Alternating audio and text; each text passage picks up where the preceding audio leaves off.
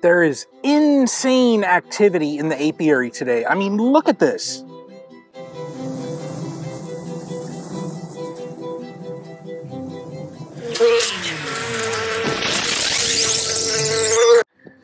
Smoker is lit. It's April 9th, uh, Northeast Ohio. We are um, about 78 degrees, so perfect day to get in and check some colonies. Uh, yesterday we had that eclipse thing, and I'll put a little image and stuff up in there. Super, super cool. Um, my one colony down there, one of the busier ones, has one of the BeeDars on it from Broodminder. So I'm really curious. That is one of the 200 locations uh, that was selected. They are collecting data as far as the bee behavior related to the eclipse. Today, I'm going to go through and do some spot checks check some things in the apiary here. Uh, I need to really get a move on and then start getting these insulated inner covers off, just transition that over. Um, we really don't have any freezing days. So um, I've got two new stands also here. Uh, I've got some stands, you know, original ones that I built that aren't quite as wide so that the, you know, hive bodies sit down into it. So I'm going to switch those out, just get some things done. So let's get some inspections started. Now right there what you see, that is that Appy tablet that dripped down through here. Yep, look at that. Oh man. Beautiful queen on there. can see her there, kind of that darker color. Nice brood pattern on there. Little. This is one of my smaller colonies.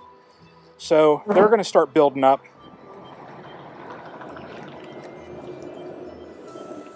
I can see some wet nectar in there. That is nice. There's a, a, nice little grouping of eggs in there. Eggs right there tells me, well, my queen has been there within the last 24 hours. Now, we see right on there, that's a little practice cup. What colonies will do is, when they're building like what this one is, they will pump out drones. They're going to start practicing with cups, and they're going to get ready to swarm.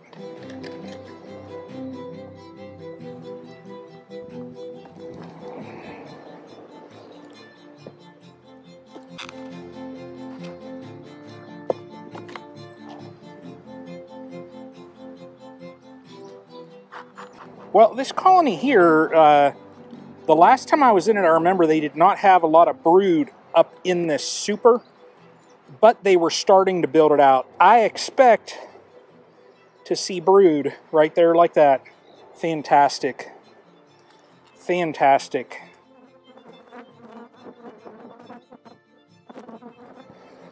Now what I'm looking for here are just any cups down there and I'm probably going to give them another uh, piece of a pollen patty there.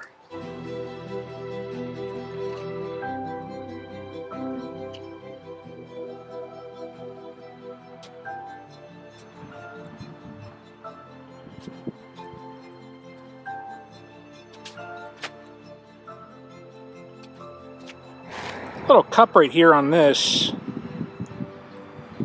There's nothing in it eggs on here, so, you know, I'm just glancing real quick to see if I can see my queen. Um, she, you know, is an elusive one. Well, we got some work done. Now, this colony here, as little as what it was, I put a little bit of brood in there. We'll see what it does. I just need to, you know, get this colony building up. So hopefully I did not sabotage it. Now, moving down, you know, these other colonies are starting to brood up. Um, you know, they've got brood in there. Uh, that colony is doing outstanding. The three back there, outstanding.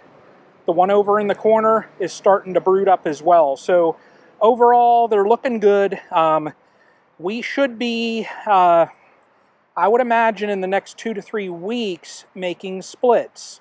So, you know, I just saw the startings of some cups, smash them down. I didn't see any that were charged. So, you know, they're telling me, hey, at least my stronger colonies are saying, hey, we are thinking about it. We're getting ready. So that's all part of the process. They will build up, they'll lay that drone brood, uh, you know, they'll start to build those practice cups, and then they're going to swarm. So, you know, I'll just have to keep an eye. Today, like I said, is April 9th.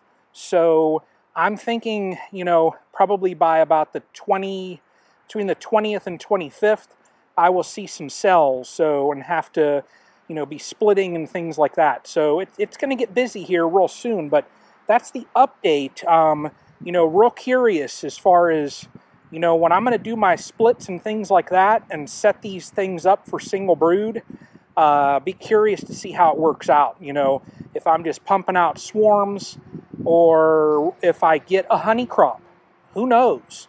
This is my first year I'm going to do this, so, you know, if you're thinking about it, maybe use, you know, my season here and say, hey, I saw this guy and he did this, and maybe he did this wrong, and you can correct it. So that's why I'm going to share all this. But uh, appreciate you guys all watching.